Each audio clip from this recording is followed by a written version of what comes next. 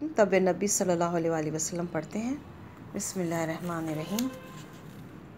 نماز روح کو تسکین دیتی ہے، سستی کو دور کرتی ہے، اعضاء میں چستی پیدا کرتی ہے، قوا کو مضبوط بناتی ہے، سینوں کو سینے کو کشادہ کرتی ہے، روح کی غذا ہے۔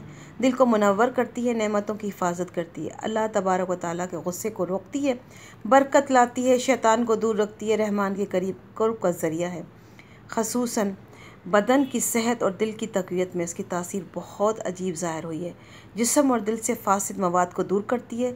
اس کا موازنہ اس طرح ہو سکتا ہے کہ جب دو شخص کسی مصیبت، پریشانی، بیماری یا آزمائش میں مبتلا ہوں، تو ان دونوں میں جو نماز کا عادی و نماز نمازی کے مقابلے میں کم متاثر ہوگا اور ان آزمائش سے سرخرو ہو کر نکلے گا۔ نماز دینوی مصائب اور پریشانیوں کو دور کرنے میں بھی بڑی مؤثر ہے۔ خصوصاً جب نماز کو پورے حقوق، ظاہری و باطنی اور شرائط کے ساتھ ادا کیا جائے۔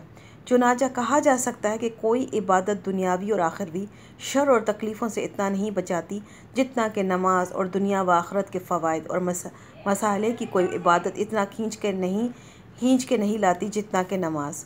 اس کا راز یہ ہے کہ نماز دراصل اللہ تبارک و تعالیٰ سے رابطہ ہے۔ بندے کا اپنے رب سے جتنا رابطہ مضبوط ہوگا، نیکیوں اور اچھائیوں کے دروازے اسی کے مطابق کھلیں گے اور شر و فساد کے اسباب منقطع ہوں گے اور رب تبارک و تعالیٰ کی طرف سے توفیق کا فیضان ہوگا۔ عافیت اور صحت ملے گی، مالداری، راحت، نعمت، تسکین اور خوشیاں حاصل ہوں گی۔ انشاءاللہ تعالیٰ۔ السلام علیکم ورحمۃ اللہ وبرکاتہ۔